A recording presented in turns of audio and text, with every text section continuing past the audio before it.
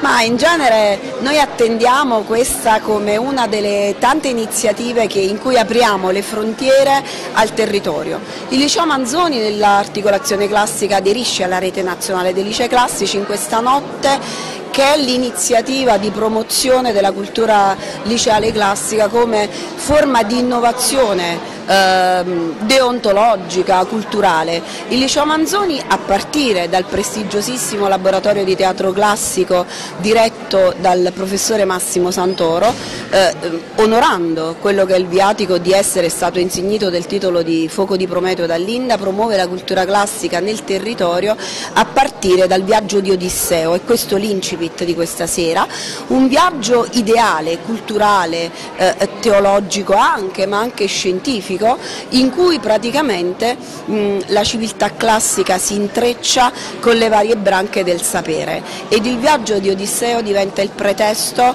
l'occasio in base a cui l'idea della cultura classica possa essere manifestata non solo come idea tradizionale ma anche come forma innovativa di codice culturale per questi ragazzi che devono essere consapevoli di essere i portatori di una cultura che tutt'altro dall'essere vetusta è oggi eh, una chiave di accesso importantissima a quelle che sono le frontiere delle professioni, eh, della imprenditorialità, a quelle competenze chiave che l'Europa e il mondo ci chiedono e noi sappiamo che possono essere tranquillamente declinate attraverso la cultura classica. Questa serata è una serata in cui a partire dal laboratorio, dalla eh, cultura del Dipartimento eh, delle lettere classiche ci apriamo ad opinioni opinion leader del territorio che nelle varie branche della società civile, della cultura e della scienza incarnino l'idea di un abbraccio ideale e sinergico tra culture.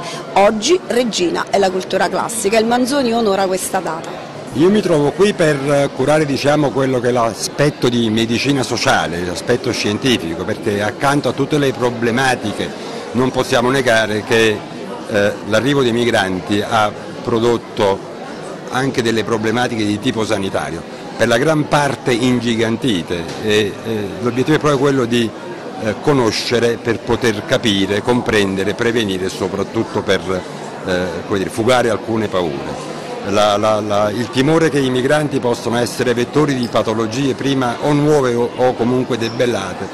e purtroppo stato fatto oggetto di sciacallaggio da parte della politica e quindi è il momento di fare un'operazione di tipo verità, di dire veramente come stanno le cose.